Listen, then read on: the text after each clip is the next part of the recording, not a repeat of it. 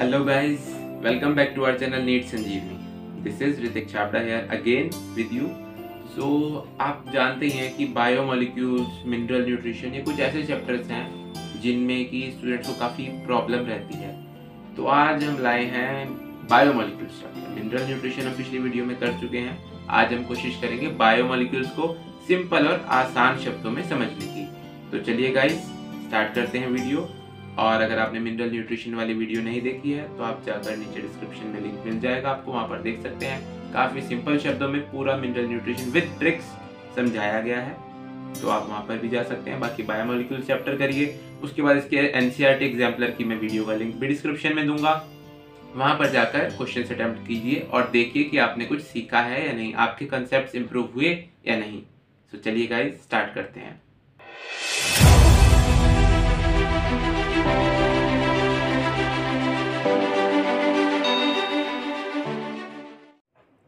तो इस चैप्टर में हमें बेसिकली पढ़ना क्या है? बायोमोलिक्यूल्स में हमें पढ़ना है कि लिविंग ऑर्गेनिज्म किन केमिकल्स से बने हैं, वो केमिकल्स क्या हैं, उनकी प्रॉपर्टीज़ और उनके बारे में हम थोड़ी बहुत नॉलेज लेंगे और कुछ नहीं पढ़ना है इसमें ज़्यादा। चाहे उसमें प्लांट टिश्यूज़ हों एनिमल टिश्यूज़ हों या फिर कोई माइक्रोबियल पेस्ट हो तो हमें बताया गया है इस चैप्टर में कि वो सब सेम मटेरियल से ही बने हैं सेम केमिकल्स और सेम एलिमेंट्स एंड कंपाउंड से ही बने हुए हैं।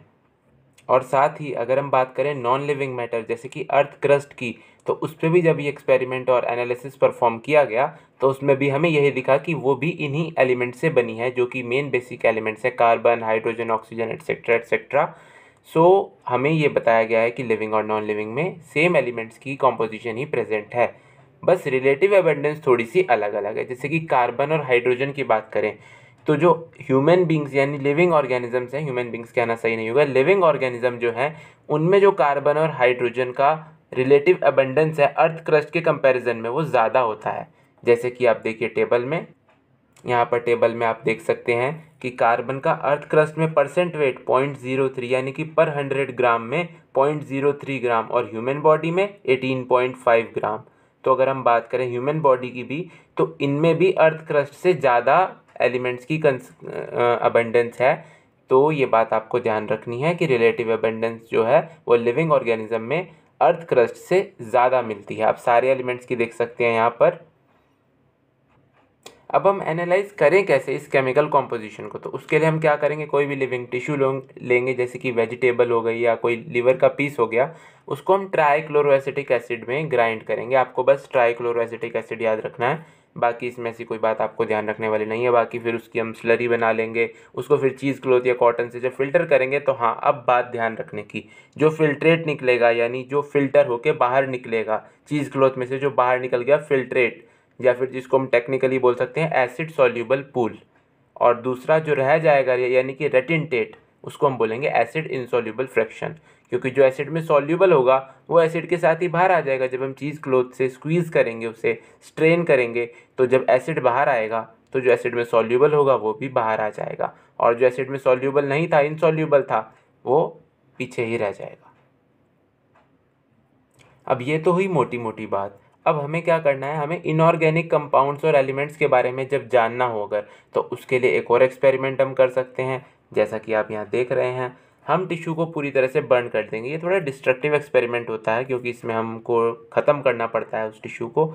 तो इसमें क्या है, कोई भी लीफ, लीवर या कोई भी हो गया, उसको हम पहले ड्राई कर लेंगे और उसका ड्राई वेट हम कैलकुलेट कर लेंगे। उसके बाद उसे फुली बर्न जब हम कर देंगे तो कार्बन कंपाउंड सारे ऑक्सीडाइज होकर गैसियस फॉर्म में बाहर निकल गए, जो उसके बाद बचा remaining, that is called ash.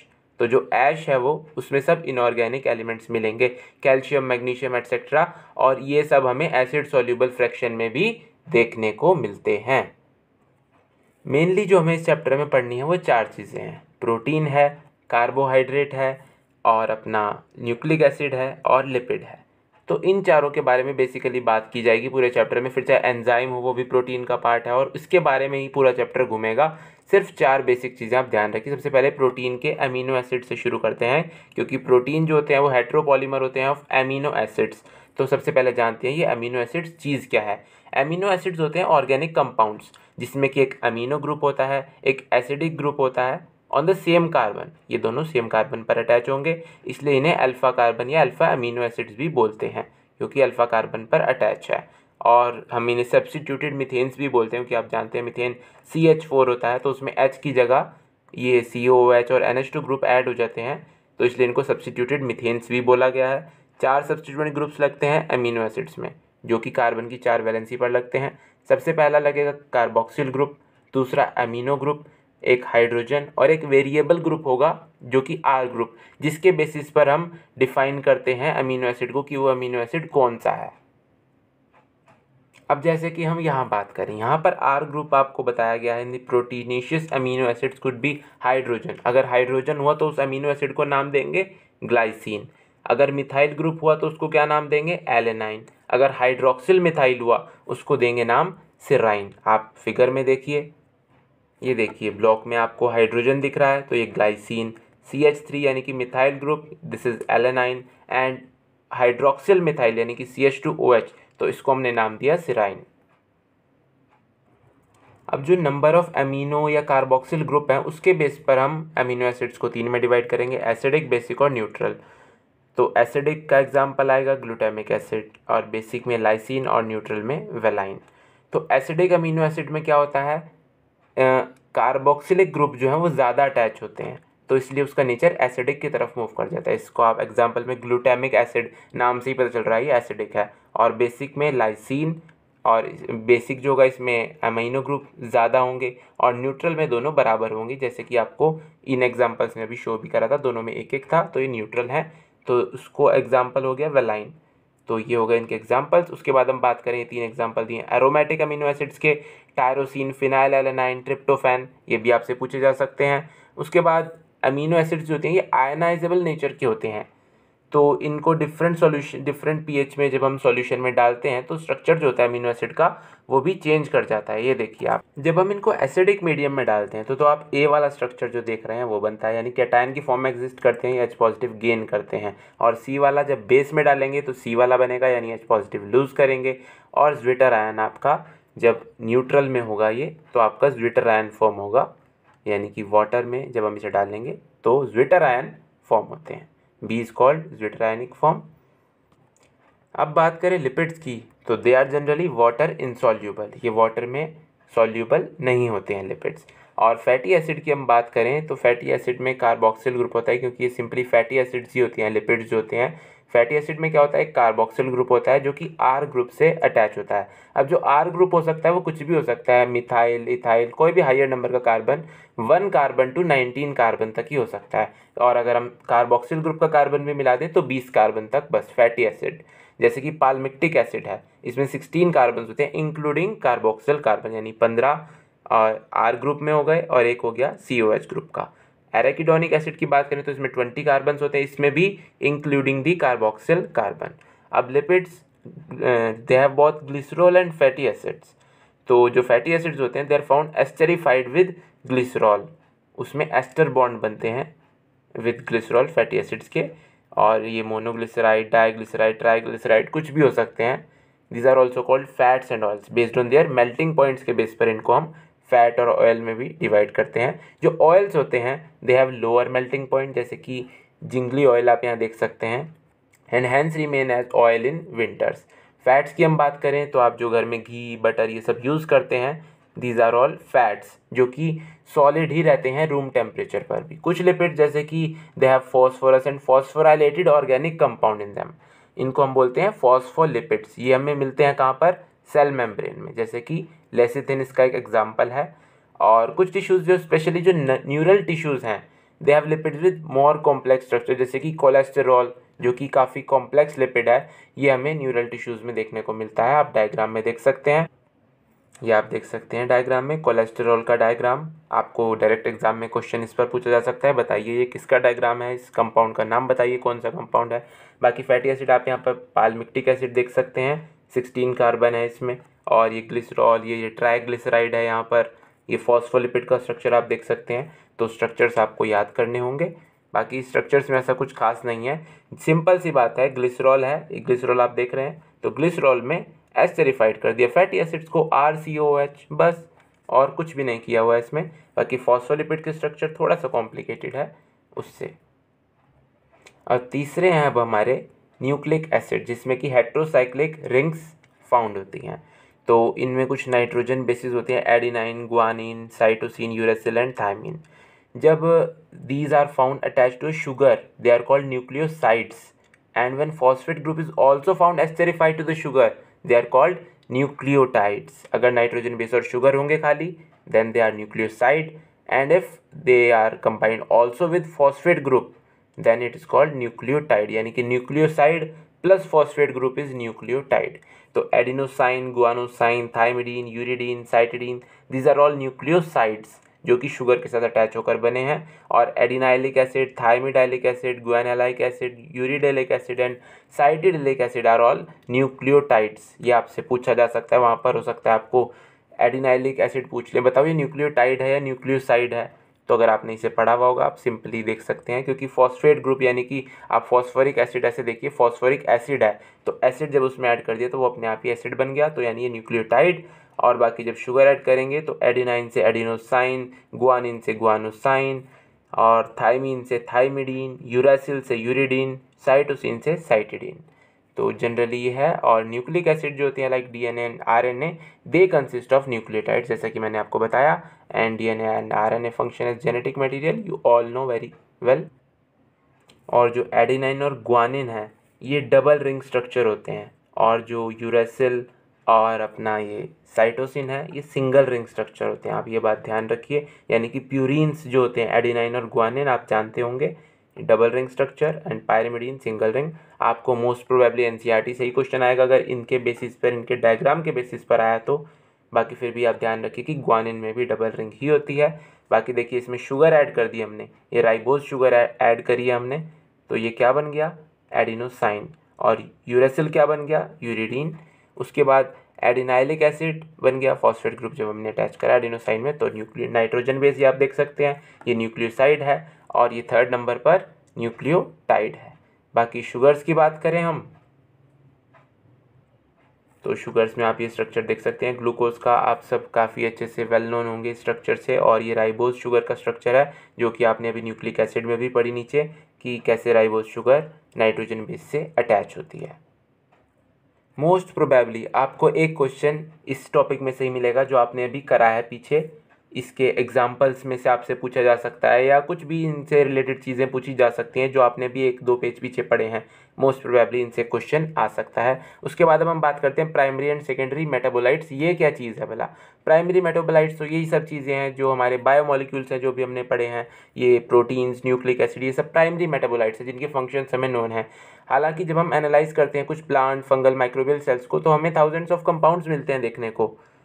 Other than these primary metabolite जैसे कि alkaloids flavonoids rubber essential oils antibiotics coloured pigments gum spices scents ये सब क्या है? ये सब सेकेंडरी मेटाबोलाइट्स हैं। इनके फ़ंक्शंस हमें अच्छे से नहीं पता। We do not understand the role of functions of all the secondary metabolites but many of them are useful to humans आप यहाँ पर देख सकते हैं pigments carotenoids and anthocyanin carotenoids आप जानते हैं येलो ऑरेंज कलर के होते हैं, और anthocyanin blue colour pigment alkaloids morphine codeine terpenoids monoterpene diterpene essential oil है लेमन ग्रास ऑयल सब नाम से ही देखिए टर्पिनॉइड मोनोटर्पिन डाइटर्पिन नाम से ही याद हो रहे हैं सब। बाकी ये टॉक्सिन एल्केलॉइड और ड्रग्स इन तीनों में अंतर आप ध्यान रखिएगा, बच्चे भूल जाते हैं। एल्केलॉइड्स में आएँगे मॉर्फिन और कोडीन टॉक्सिन होंगे एब्रिन रिशिन और ड्रग्स हैं विन ब्लास्टिन कर्क्यूमिन बाकी लैक्टिन्स कॉनकेवनेवलिन ए पॉलीमेरिक सब्सटेंसेस हैं यहाँ पर rubber gums and cellulose finally अब हम आते हैं बायो माइक्रो मॉलिक्यूल्स में। बायो माइक्रो मॉलिक्यूल्स वो जो हमें एसिड इनसॉल्यूबल फ्रैक्शन में मिले थे। यही सब nucleic acid protein carbohydrates and lipids ये सब। तो अब हम बात करते हैं पहले इनकी डेफिनेशन की। ये होते क्या चीज़ है भला? The compounds found in acid soluble pool जिनका की मॉलिकुलर वेट होगा 18 टू 800 डाल्टन्स अप्रॉक्सीमेटली उनको हम बोलेंगे बायोमोलिक्यूल्स या बायो माइक्रोमोलिक्यूल्स जो एसिड इनसॉल्युबल फ्रैक्शन में होते हैं proteins nucleic acid polysaccharide lipids ये हैं with the exception of lipids they have molecular weight in the range of ten thousand dalton अभी एक्सेप्शन ऑफ़ लिपिड्स क्यों अभी इसकी बात भी करते हैं हम आगे? बाकी ये जो molecular weight less than one thousand dalton होंगे they are usually bio micro micromolecules और बायो बायोमोलिक्यूल्स और जिनका ज़्यादा होगा जो एसिड इंसॉल्युबल फ्रैक्शन में मिलेंगे, वो बायो माइक्रो मैक्रोमोलिक्यूल्स तो अब बात करते हैं लिपिड्स को हमने एक्सेप्शन क्यों डाला कि उन तीनों का वेट चलो टेन थाउज़ेंड डेल्टन या उससे ज़्यादा है, इसलिए उन्हें बायो माइक्रोमोलिक्यूल्स में डाला। लेकिन लिपिड्स का जब वेट इतना नहीं है with the exception of lipids बोला है हमें तो फिर इसे बायो माइक्रोमोलिक्यूल्स में क्यों डाला गया? तो लिपिड्स का जो मॉलिकुलर वेट होता है, वो तो कम होता है। But they are found in structures like cell membrane and other membranes तो जब हम किसी टिश्यू को ग्राइंड करते हैं ना तो हम सेल के स्ट्रक्चर को डिसरप्ट कर देते हैं।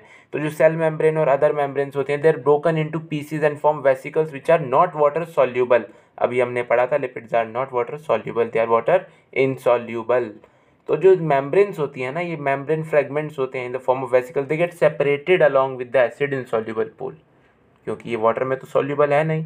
तो ये सेपरेट हो जाता है एसिड इनसॉल्यूबल पूल में and hence in the macromolecular fraction but lipids are not strictly macromolecules ये बात आप ध्यान रखिएगा, आपसे ट्रू फॉल्स में पूछ सकते हैं। क्वेश्चन इस टेबल से भी बन सकता है कि वाटर कितना परसेंट प्रेजेंट होता है protein carbohydrate lipid nucleic acid और आयंस ये आप ध्यान कि वाटर आप सब जानते हैं, बचपन से पढ़ते आ रहे हैं कि seventy percent of our body is water तो सेवेंटी टू नाइन्टी परसेंट तो वाटर हुआ। फिर उससे कम प्रोटीन्स क्योंकि आप प्रोटीन्स ही लेते हैं सप्लीमेंट जब भी आप कहते हैं, हमें प्रोटीन चाहिए भाई तो यहीं प्रोटीन ज़्यादा ही होगा। तो ten to fifteen percent protein water के बाद protein then carbohydrate then lipid and then nucleic acid तो ये चीज़ आप ध्यान रखिए nucleic acid five to seven percent है lipids two percent carbohydrate three percent और आयन सिर्फ़ वन परसेंट प्रेजेंट होता है एवरेज कॉम्पोजिशन ऑफ़ सेल में। अब पढ़ते हैं अपने बायोमैक्रोमोलिक्यूल्स को थोड़ा सा डिटेल में ज़रा। ज़्यादा डिटेल में नहीं जाएँगे।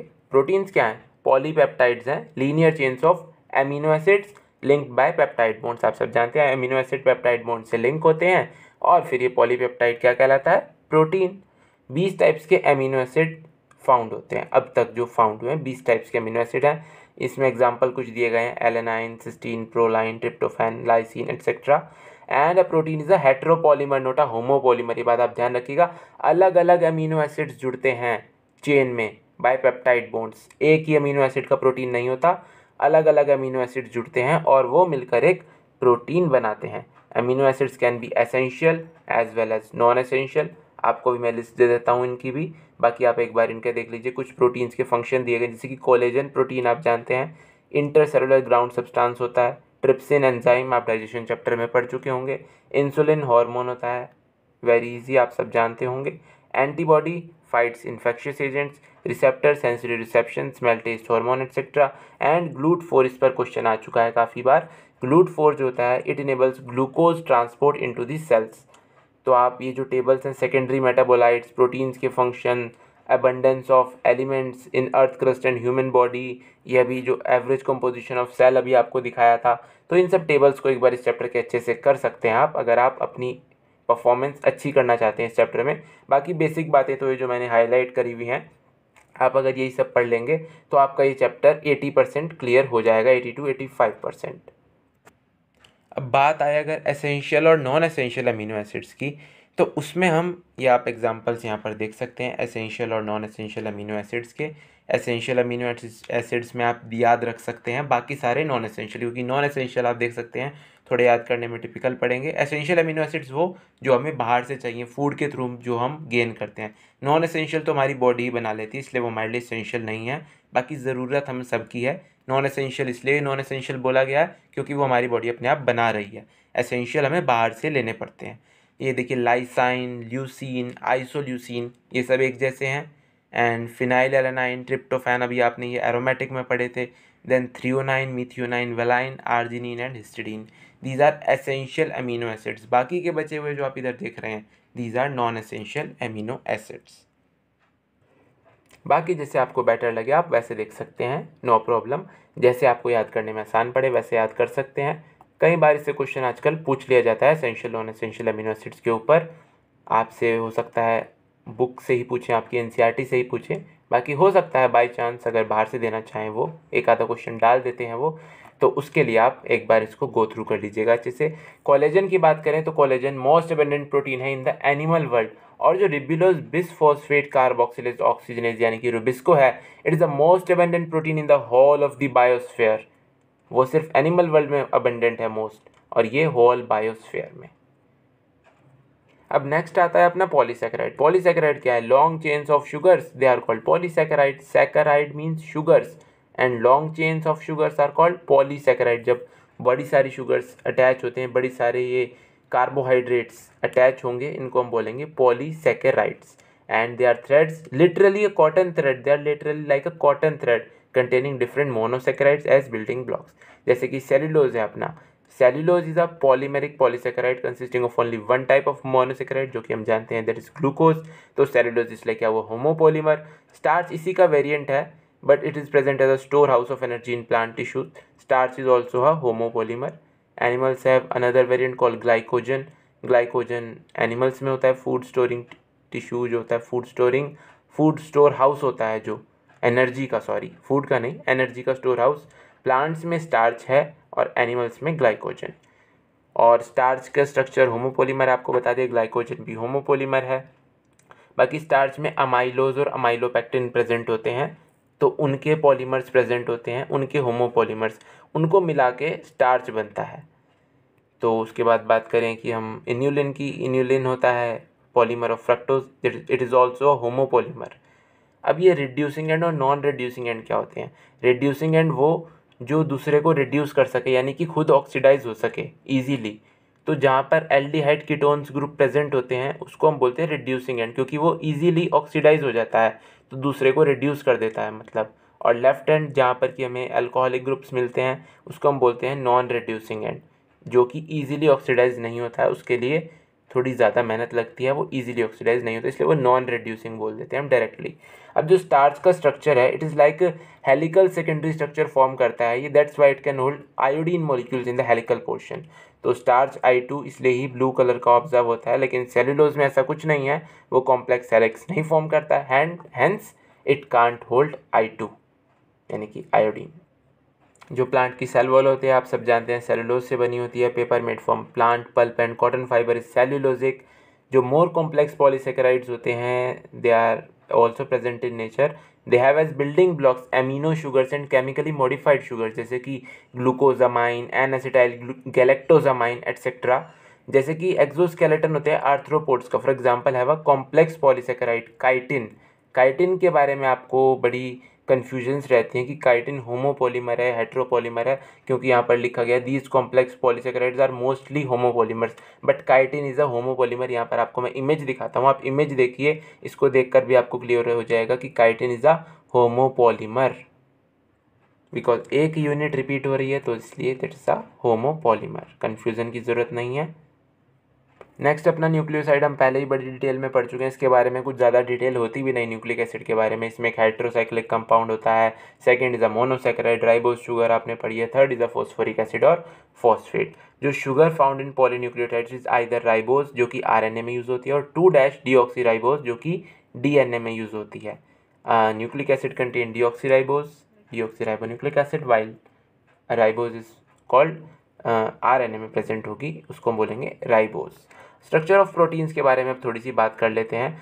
चार स्ट्रक्चर होते हैं प्रोटीन्स के। ये बेसिकली हम जो केमिस्ट्री में बात करते हैं N A C L M G C L two ये सब मॉलिकुलर फॉर्मूला के बेस पे होते हैं स्ट्रक्चर्स जो होते हैं। उसके बाद जब हम बेंजीन नेफ्थलिन वगैरह इन सब की बात करते हैं, जो ऑर्गेनिक केमिस्ट होते हैं, वो टू डायमेंशनल व्यू में देखते हैं मॉलिक्यूल्स को। बाकी फिर जब हम बात करें फिजिसिस्ट की they conjure up the three dimensional views लेकिन जो बायोलॉजिस्ट हैं they describe protein structure at four levels primary structure secondary tertiary and quaternary तो जो सीक्वेंस ऑफ़ अमीनो एसिड्स अगर पोजिशनल इन्फॉर्मेशन ही बताए हमें which is the first amino acid which is second and so on उसको हम बोलेंगे primary structure जैसे कि एक लाइन की फॉर्म में होता है, जिसका कि left hand represented by first amino acid and right hand represented by last amino acid इसलिए हम फ़र्स्ट हैंड को क्या बोलते हैं? एन टर्मिनल अमीनो एसिड क्योंकि लेफ़्ट साइड में एन एच टू प्रेजेंट होता है और राइट साइड में सी ओ एच प्रेजेंट होता है. और लास्ट अमीनो एसिड को इसलिए हम बोलते हैं सी टर्मिनल अमीनो एसिड उसके बाद हम बात करते हैं सेकेंडरी स्ट्रक्चर की। And when these primary structure protein threads are arrange in the form of a helix जो कि प्रोटीन्स में ओनली राइट हैंडेड हेलिक्स होते हैं आप ध्यान रखिएगा तो वो स्ट्रक्चर फोल्ड करके बना लेता है। एक और structure that is called the secondary structure फिर जब ये लॉन्ग प्रोटीन चेन है it is also folded upon itself like a hollow woollen ball it will give rise to a tertiary structure आप फिगर में यहाँ देख सकते हैं। पहले ये सेकेंडरी स्ट्रक्चर बना हुआ है हेलिक्स की फॉर्म में टर्न हो गया and then it curl upon itself it's fold upon itself it is tertiary structure जो टर्जरी स्ट्रक्चर होता है इसका it is absolutely necessary for the many biological activities of proteins ये बात आप ध्यान रखिएगा। और जो क्वाटर्नरी स्ट्रक्चर इसमें क्या होता है linear string of spheres spheres arrange one upon each other in the form of a cube और plate etcetera it is the architecture of protein called quaternary structure of protein जो कि हमें देखने को मिलता है कहाँ पर?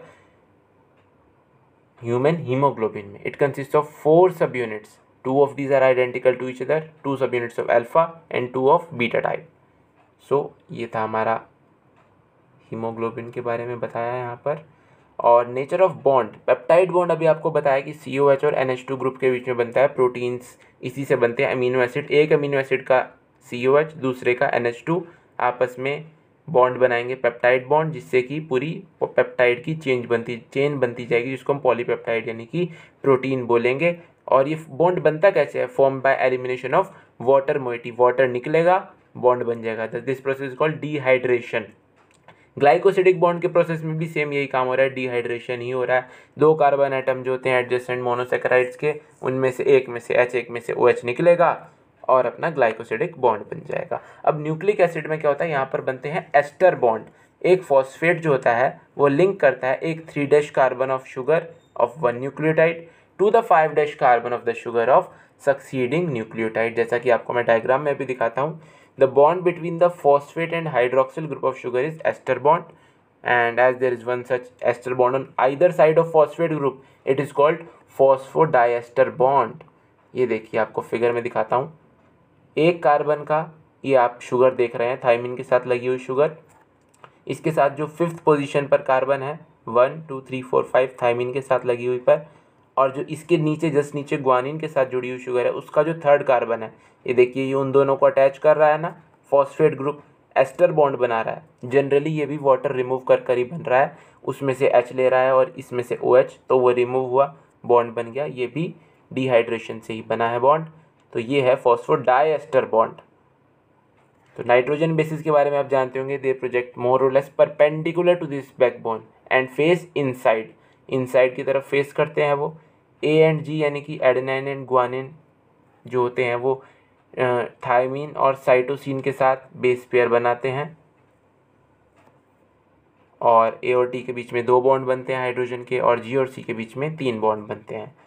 जैसे ही हम एक एक स्टेप ऊपर जाते हैं सेंट पर स्ट्रैंड टर्न करता है थर्टी सिक्स डिग्री ऐसे ही फिर दस जब स्टेप्स ऊपर चले जाते हैं हम तो यानी कि थ्री सिक्सटी डिग्री घूम जाता है पूरा। इसलिए उस दस को बोलते हैं पिच तो पिच कितनी होती है डीएनए की? थर्टी फोर एंगस्ट्रॉम उसको अगर टेन से डिवाइड कर दें, यानी कि थ्री पॉइंट फोर एंगस्ट्रॉम तो ये हमारा राइज पर बेस पेयर हुआ कि पर बेस पेयर जाने पर कितनी हमें लेंथ ऊपर जाना पड़ा। तो पिच जनरली एक उसकी लेंथ के फॉर्म में आप कह सकते हैं, है तो ये जो स्ट्रक्चर ये फीचर्स हैं, ये हैं बी डीएनए के। ऐसे ही काफ़ी सारे और भी डीएनए अब तक हो चुके हैं डिस्क्राइब तो उनके बारे में हमें नहीं पढ़ना है। अब कुछ नहीं रह गया इस चैप्टर में अभी चैप्टर आप ख़त्म समझिए।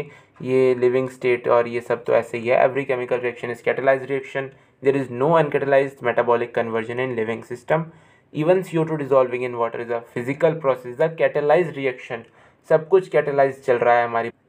एक ही एग्ज़ाम्पल आप याद कर लीजिए।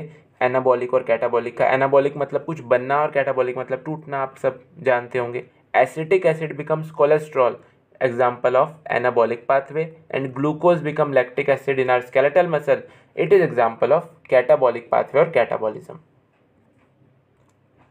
बाकी सब आप चाहें तो ये पढ़ सकते हैं, बाकी इसमें से कोई क्वेश्चन पूछने वाला है नहीं। ये लिविंग स्टेट में लिविंग स्टेट क्या होती है? It is a non equilibrium steady state to be able to perform work क्योंकि हम सब जानते हैं कि इक्विलिब्रियम पे अगर कोई सिस्टम होता है, वो परफॉर्म वर्क नहीं कर सकता।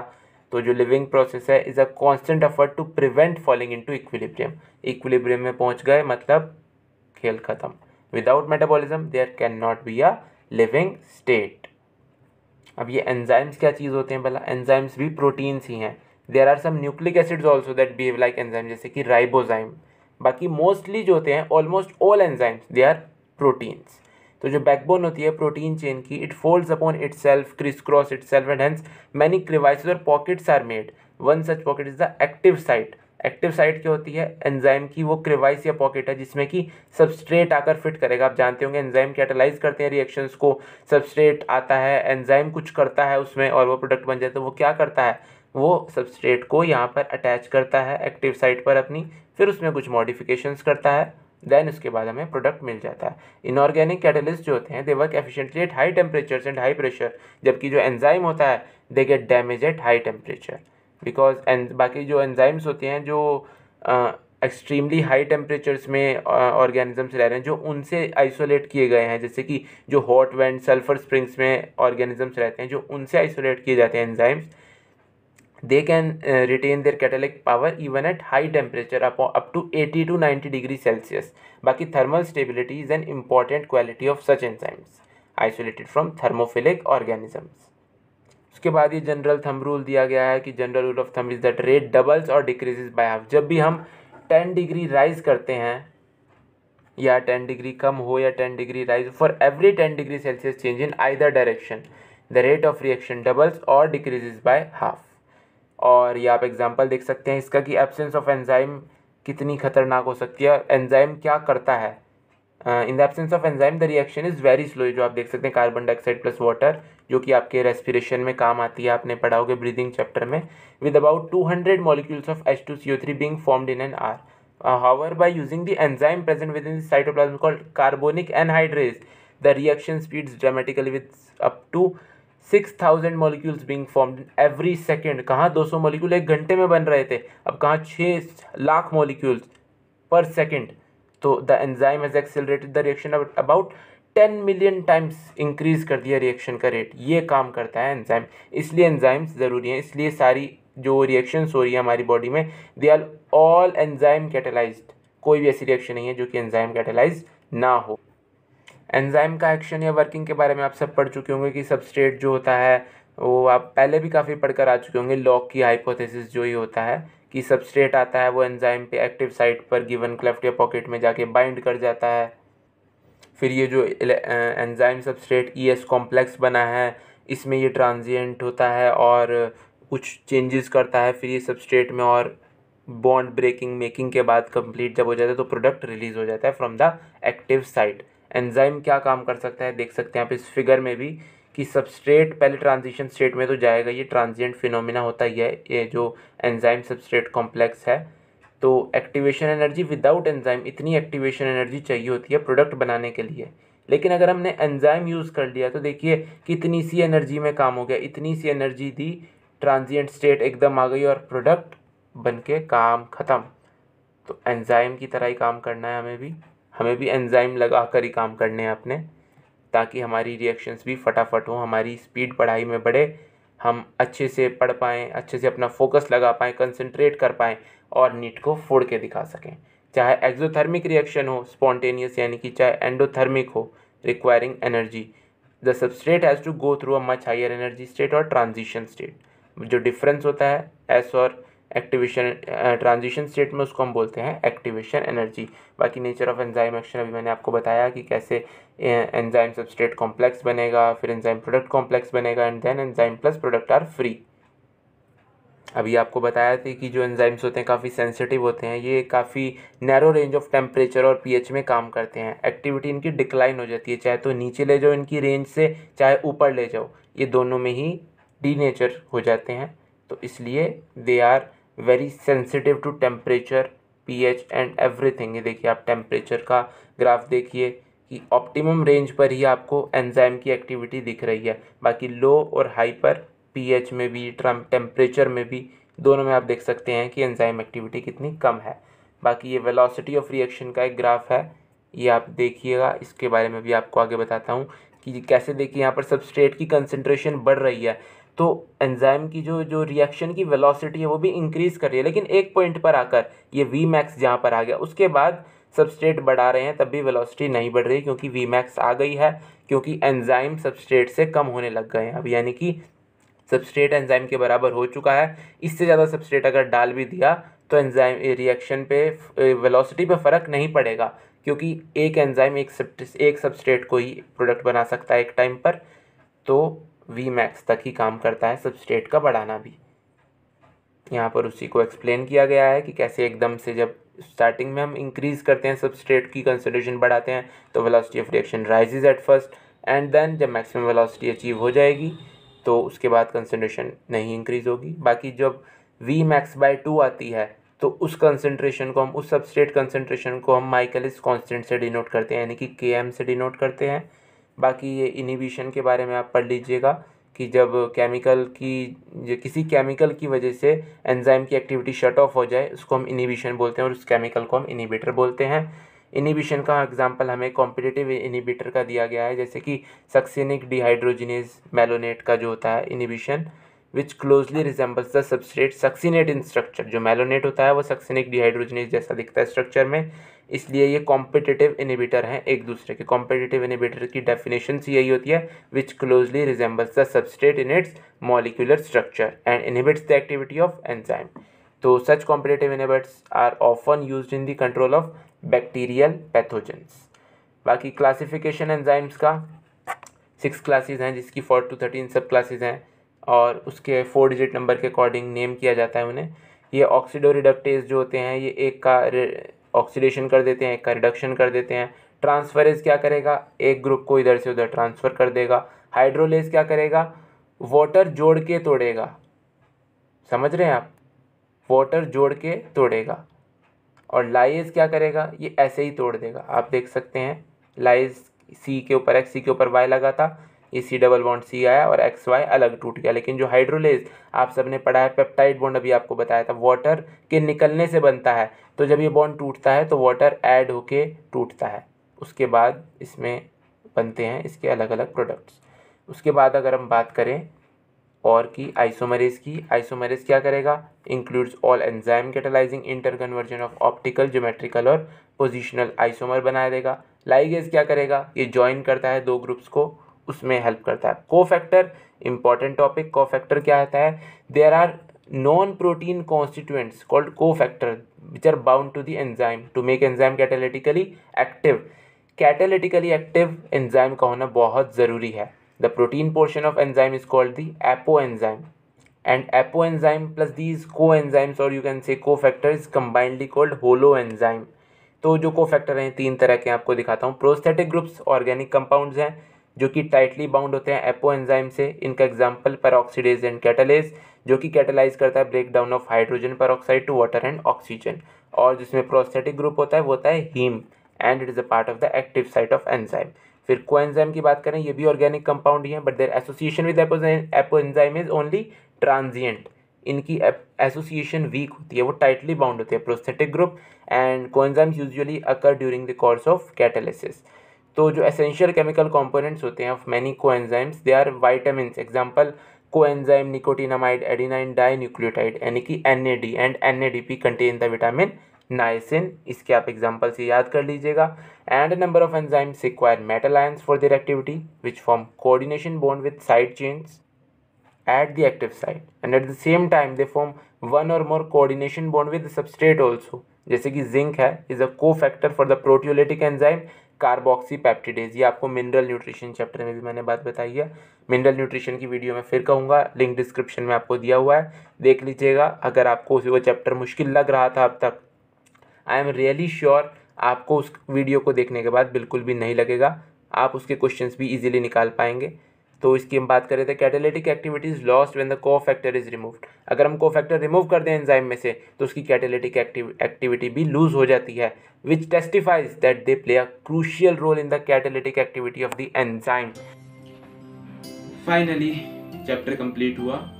ज़्यादा बड़ी वीडियो नहीं हुई है, सही है वीडियो बाकी आपको मैं नीचे डिस्क्रिप्शन में मिनरल न्यूट्रिशन चैप्टर का लिंक तो मैं दे ही दिया है। साथ में इस चैप्टर के बायोमोलिक्यूल्स चैप्टर के जो एन एग्जाम्पलर क्वेश्चन हैं, उनका लिंक भी आपको नीचे डिस्क्रिप्शन में मिल जाएगा। आप वहाँ जाकर उसको अटेम्प्ट करने की कोशिश कीजिए और देखिए आप कितने मार्क्स स्कोर कर पा रहे हैं। कमेंट कीजिएगा, बताइएगा आपको वीडियो कैसी लगी। आप इस टाइप की और वीडियोस चाहते हैं क्या? और लाइक कर दीजिएगा अगर आपको पसंद आई हो तो। Thank you very much guys for watching the video up to end and bye bye